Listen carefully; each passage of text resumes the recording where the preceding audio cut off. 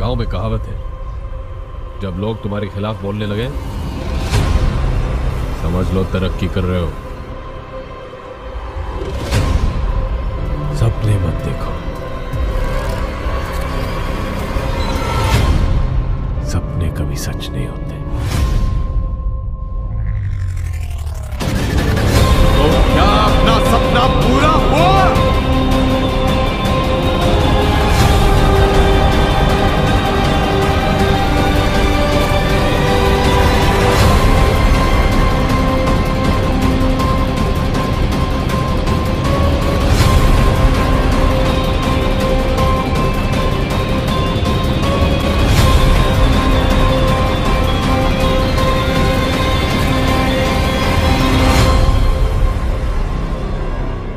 Finally Ajay Devgan की most awaited film Bhola cinema halls पर release हो चुकी है और लोगों से फ़िल्म को काफ़ी अच्छा रिस्पांस भी मिल रहा है। फ़िल्म बॉक्स ऑफ़िस पर तगड़ी कमाई भी कर रही है और सभी को फ़िल्म की स्टोरी भी पसंद आ रही है। पर आज हम यहाँ पर भोला फ़िल्म के सेकंड पार्ट को लेकर बात करने आए हैं। भोला फ़िल्म के रिलीज़ होने के बाद खबरें आ रही है की बहुत ही जल्द भोला फ़िल्म का सीक्वल भी देखने को मिल सकता है। और एक इंटरव्यू में अजय देवगन ने बताया कि भोला फ़िल्म एक सिंगल फ़िल्म नहीं है। भोला फ़िल्म के साथ वो एक यूनिवर्स तैयार कर रहे हैं। इस यूनिवर्स की शुरुआत भोला फ़िल्म के साथ हो गई है। और जैसा कि आप सभी को पता है भोला फ़िल्म को अजय देवगन ने ही डायरेक्ट किया है और उन्होंने इंटरव्यू में भोला फ़िल्म के सीक्वल के बारे में कुछ कहा। तो ये बात तो पक्की है कि इस फ़िल्म का सीक्वल ज़रूर बनेगा। और जैसा कि आप सबको पता है, अजय देवगन की भोला फ़िल्म साउथ की सुपरहिट फ़िल्म कैथी का रिमेक है। इसलिए हो सकता है कि अगर साउथ की कैथी फ़िल्म का सीक्वल भी बनता है तो अजय देवगन की भोला फ़िल्म का सीक्वल भी बने। अजय देवगन ने इंटरव्यू में कहा कि भोला फ़िल्म कैथी फ़िल्म का रिमेक नहीं है। वो इस फ़िल्म से इंस्पायर है। भोला फ़िल्म की स्टोरी भी कैथी फ़िल्म से थोड़ी चेंज है और कैथी फ़िल्म का सीक्वल बने या न बने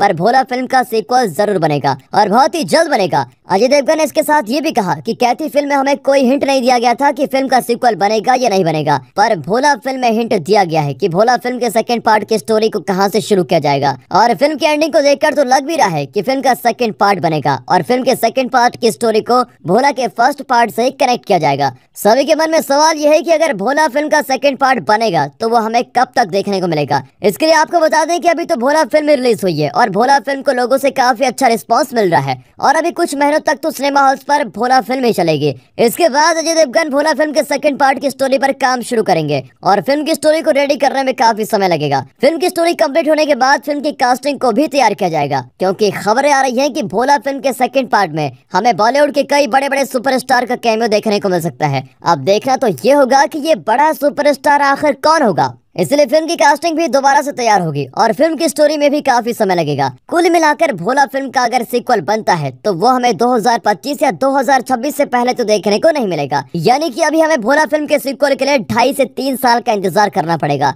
सभी लोग फ़िल्म के सेकेंड पार्ट की स्टोरी को जानने के लिए काफ़ी ज़्यादा एक्साइटेड है। और अब फ़िल्म की स्टोरी तो हमें थोड़े समय के बाद पता चली जाएगी, पर तब तक हम भोला फ़िल्म को एंजॉय कर सकते हैं। इसी के साथ दोस्तों, आज की वीडियो खत्म होती है। मिलते हैं अगली वीडियो में, तब तक के लिए गुड बाय अपना ख्याल रखेगा and finally Thanks for watching.